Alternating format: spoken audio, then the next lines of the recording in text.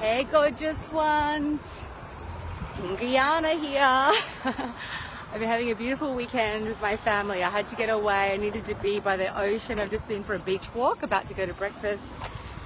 And I did a video on my group, my free group, High End Empire, just talking about people that are really going through a lot of grief and healing right now. So if you want to see that video, go to my group, join my group, if you're not already there, about ascension and releasing grief and why it's so important um, in order for you to really ascend. It's actually a vital part of the process of ascension.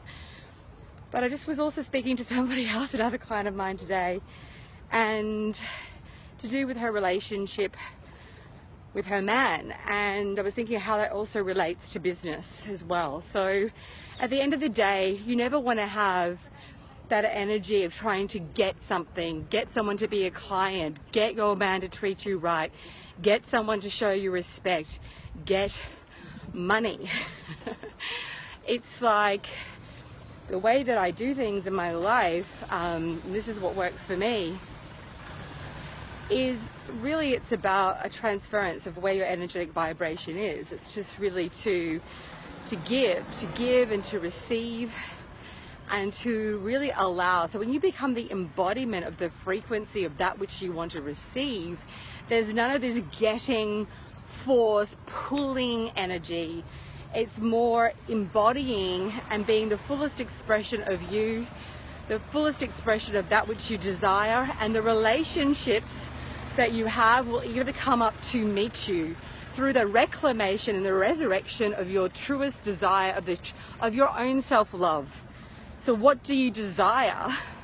And then you embody that energy as you release grief, rage, self-loathing and come back to the embodiment of that which you want to receive. And everything that is not in alignment, I can tell you this for sure because I go through it all the time because that's where I'm at. I know exactly what I desire. I allow myself and give myself permission to, to desire it and receive it. I know what it is. I know what I want in my marriage. I know what I want in my business. I'm very clear about that. And then anything that isn't in alignment will go, including my own stuff, including anything that I personally need to release, whether it's self-hatred, lack of self-honoring, whatever. So I've been on this journey for many years, right? And you get lighter and lighter and lighter and lighter and you become that embodiment. Really what it is is love, right? And I was just saying on my group before, the moment I gave myself permission to be the fullest expression of me, no longer hiding, no longer waiting for someone to give me that permission, no longer worrying about what someone's going to think about me, whether they're going to like me, whether they're going to get it. That is not my concern. My concern is to be the fullest expression of me, the true me, the true, unbridled, passionate, full on me. I will not crucify my energetic presence to please anybody. And if they don't appreciate it or like it, or perhaps it turns them right off, that's fine. That doesn't, I say love, it doesn't even, I don't even, it doesn't even come into my concern. It's not my concern. And I even almost can find it a little bit funny. I don't take it as some sort of rejection because the only person that can really reject me and abandon me is me. Do you get what I'm saying? I will not, I refuse, I did it for years to abandon myself and my truth and my power and my heart. So the moment I gave myself that permission to be the fullest expression and, and own my divinity and own my mess and own whatever imperfection I have. I'm so, I was just so over judging myself. We're conditioned to do that. We're conditioned to berate ourselves, to berate ourselves, right? Because that's how society's kind of set it up. And so I decided, well, that wasn't working anymore. I remember the day I used to have a very chronic eating disorder. And I sat on the beach and I was like, you know, this is just, this is just like a joke. This is like effed up. So I grabbed my flabby thighs and I said, okay, instead of hating you, started doing my prayers, I'm going to love you. I'm going to see what happens here because it can't get any worse than this. And that's how I've lived my life ever, ever since. It's always an initiation. There's always different layers of love and honoring. Right now, I'm going through a massive thing of honoring my work. You know, I'm a priestess. I shapeshift energy. and I'm an also a really full-on business coach and strategist, branding expert, copywriting whiz. And I'm like, holy moly, like, wow, Ingrid. And I give out a lot. So there's this, this deep level of not from ego, but a deeper level of love and honoring of my work, right?